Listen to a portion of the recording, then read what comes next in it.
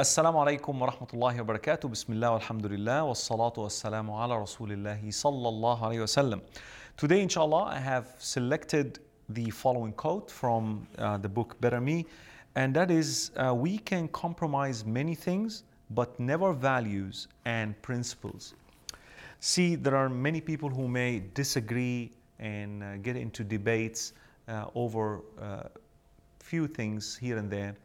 and sometimes we really get stuck with our own opinion and we never let go of our ego and we uh, sometimes fight with one another, quarrel over these things, and we never let go of our own opinions. Now, what are the things that we should compromise and let go, and what are the things that we should never let go and we should always stick by uh, them as our principles and values? For example, look at the life of the Prophet Muhammad sallallahu alaihi wasallam when there were treaties and agreements between the Muslims and the disbelievers back in the days, uh, we know of the story of Sulh al-Hudaybiyah or the Treaty of Hudaybiyah where the Qurayshi people came to the Prophet ﷺ to write an agreement that let's, let's have peace for sometimes, for 10 years we'll have peace.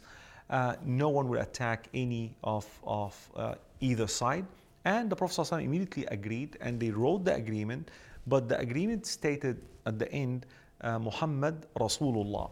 And that was where the Prophet ﷺ was supposed to sign or you know have his sealed on.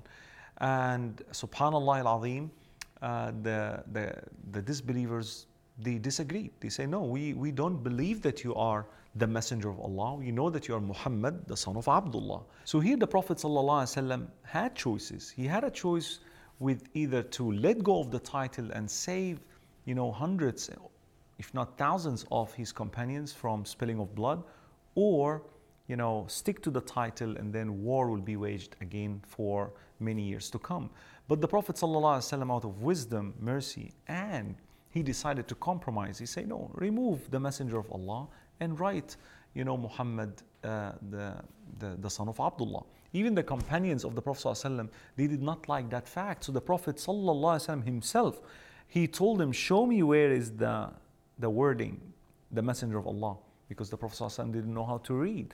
And he erased it by himself. So, this is one example of compromising for a greater good. However, when they told the Prophet ﷺ to leave the deen, to leave Islam, to forget about da'wah, to worship their gods for one year and our God for one year, the Prophet ﷺ refused boldly. He said, Wallahi, by Allah, if they put the sun on my right hand and the moon on my left, for me to leave this deen which is from Allah, it's a matter of a principle and value that I will never leave. So learn, my brothers and sisters, of the matters that you may let go and learn also what are the things that you should stick by and live by for the rest of your life. May Allah subhanahu wa ta'ala grant us the right understanding. See you tomorrow inshallah with another quote of Better Me.